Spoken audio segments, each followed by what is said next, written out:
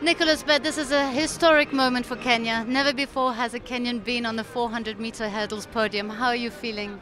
I feel happy because uh, I've come to champion of uh, World Championship uh, 2015. I'm thank God because you have given me a lot of energy to be a champion of the 20, 2015.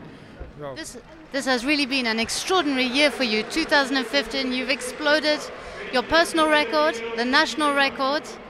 Yeah, I say thanks to God because uh, He has given me a lot of energy to be a lead and uh, world record of Kenya and uh, my best time in 2015 World Championship. I say thanks to God. Okay, thanks. Thank you.